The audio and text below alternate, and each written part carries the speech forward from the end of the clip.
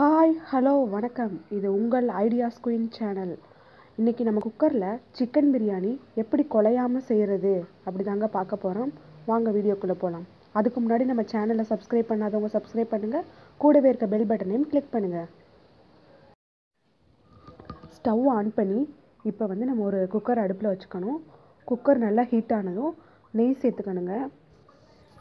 நெய் ரெண்டு ஸ்பூன் சேர்த்துக்கோங்க. இப்போ நான் செய்ய போகிறது அரை கிலோ கறி அரை கிலோ ரைஸ். அது ரெண்டும் சேர்த்து செய்கிற பிரியாணி.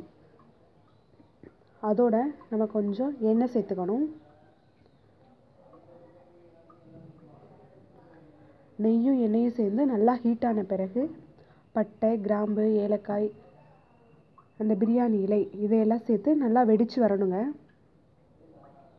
அதுக்கப்புறம் பெரிய வெங்காயம் நாலு வெங்காயம் கட் பண்ணி வச்சுருக்கேன். அதை ஆட் பண்ணணும். வெங்காயம் வந்து பொன் வறுவலாக வறுபடணும். அதாவது ஒரு ரெட்டிஷ்ஷாக இருக்கும் பாருங்களேன். அந்த மாதிரி ஸ்டேஜில் எடுத்துடணும். ரொம்பவும் வதங்கக்கூடாது. அதுக்காக பச்சையாகவும் இருக்கக்கூடாது. இப்போ வெங்காயம் வதங்குறதுக்காக அது கூட கொஞ்சோன்னு உப்பு ஆட் பண்ணிக்கோங்க.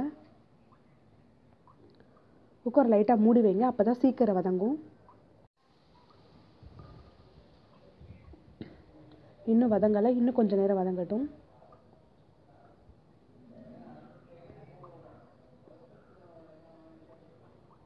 இப்போ தேவையான அளவு வதங்கிருச்சுங்க. அது கூட மூணு பச்சை மிளகாய் ஆட் பண்ணியிருக்கேன் எங்கள் வீட்டில் சின்ன குழந்தைகள் இருக்கனால நான் வந்து காரம் கம்மியாக தாங்க செய்ய போகிறேன் ஏன்னா காரம் அதிகமாக இருந்தால் சாப்பிடாதுங்க. உங்களுக்கு தேவைப்பட்டால் அதிகப்படுத்திக்கோங்க. அது கூட மூணு தக்காளி ஆட் பண்ணியிருக்கேங்க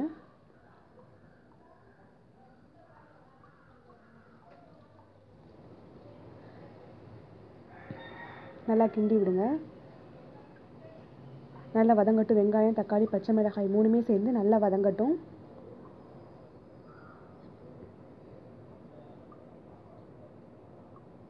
இப்போ நல்லா வதங்கிருச்சுங்க.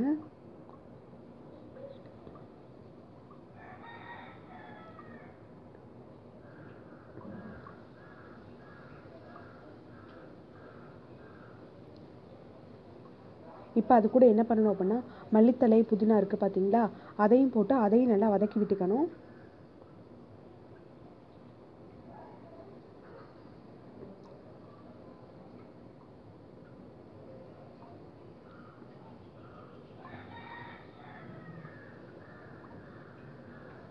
நெக்ஸ்ட்டு இஞ்சி பூண்டு பேஸ்ட்டு மூணு ஸ்பூன் ஆட் பண்ணுறேங்க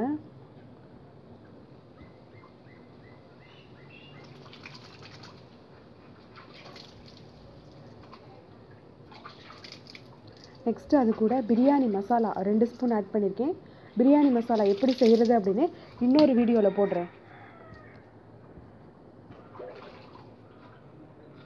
அது கூட காரத்துக்கு ஏற்ப மிளகாய்த்தூள் ஆட் பண்ணிக்கோங்க. நான் ஒரு ஸ்பூன் போடுறேன். உங்களுக்கு தேவைப்பட்டால் அதிகப்படுத்திக்கோங்க.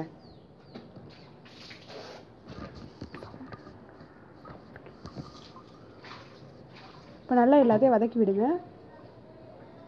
அது கூட ஒரு கப் தயிர் ஆட் பண்ணிக்கோங்க. லெமன் இருந்தால் லெமனும் ஆட் பண்ணிக்கலாம். இப்போ நல்லா எல்லாத்தையும் வதக்கி விடுங்க. நான் காரம் கம்மியாக தாங்க சேர்த்துருக்கேன். நீங்கள் வந்து உங்களுக்கு மசாலாலாம் தேவைப்பட்டுச்சுன்னா அதிகப்படுத்திக்கோங்க. நீங்கள் பிரியாணி மசாலா கடையில் உள்ள ஆச்சி மசாலா யூஸ் பண்ணிக்கிட்டாலும் பரவாயில்ல. இது வந்து வீட்டில் செஞ்ச மசாலா. நெக்ஸ்ட் டே நான் அதை போடுறேன். எப்படின்னு. இப்போ நெக்ஸ்ட் நம்ம க்ளீன் பண்ணி வச்சுருக்க சிக்கன் இருக்குது பார்த்தீங்களா அரை கிலோ. அதை வந்து இதில் போட்டு நல்லா மசாலா வந்து கறியில் சாடுற மாதிரி நல்லா மிக்ஸ் பண்ணிக்கணும். கொஞ்சம் நேரம் வதங்கட்டும்.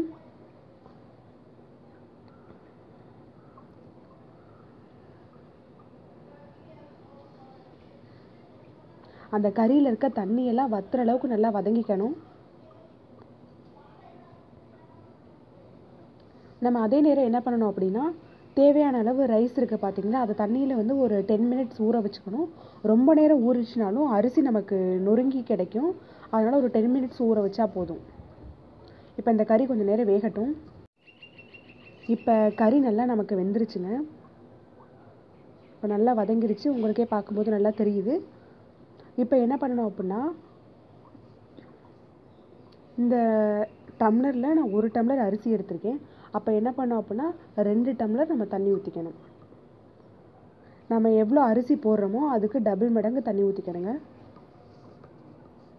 அதுவே பாஸ்மதி ரைஸாக இருந்துச்சு அப்படின்னா ஒன்றரை மடங்கு தான் தண்ணி ஊற்றணும் இது சீரக சம்பா ஸோ ஒன்றுக்கு ரெண்டு தண்ணி ஊற்றணும் இப்போ தண்ணி ஊற்றாச்சு அது லைட்டாக கொதிச்சு வரணும். கொதிச்சு வந்த பிறகு நம்ம அந்த ஊற வச்சு வச்சுருக்கோம்னா அரிசி அதை ஆட் பண்ணிக்கணுங்க. இப்போ அரிசி ஆட் பண்ணியாச்சு. இப்போ குக்கரை மூடி குண்டு வச்சு ஒரு விசில் வச்சா போதும். ஒரு விசில் வச்ச பிறகு ஒரு விசில் வந்த பிறகு நம்ம எப்படி இருக்குன்ட்டு பார்க்கலாம்.